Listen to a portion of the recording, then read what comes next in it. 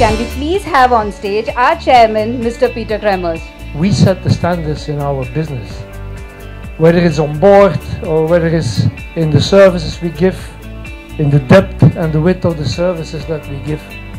So I would say what we do here is very much a normal development of who we are and what we are. The expectations of this office as a service provider to the group are wider than you imagine.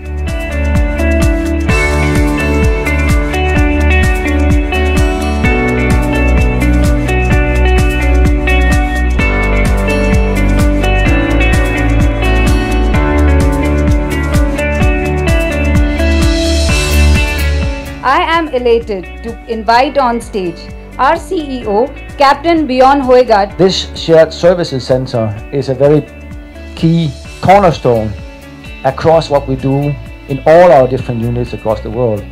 And there, you know, having a shared services center that can define those processes and make sure that we agree what good looks like and can apply that consistently. And I think what we're doing in this shared services center is going to be very much part of lifting the game. So my hope is that you all take that challenge with you and that you're going to paint on that canvas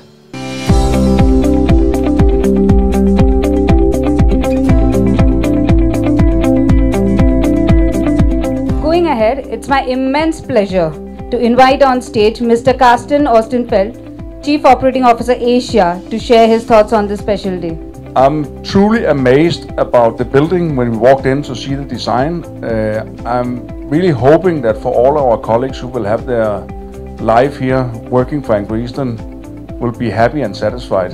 So my expectation is there'll be more colleagues in India than what we ever uh, thought of when we had the, the idea coming uh, 25 years ago.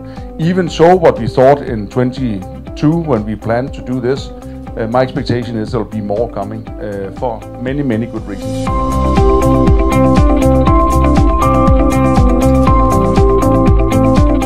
I would now like to request Mr. Manish Saxena, who spearheads the Shared Services Center in India, from the team leaders and from myself, we assure you of uh, high quality and striving for excellence.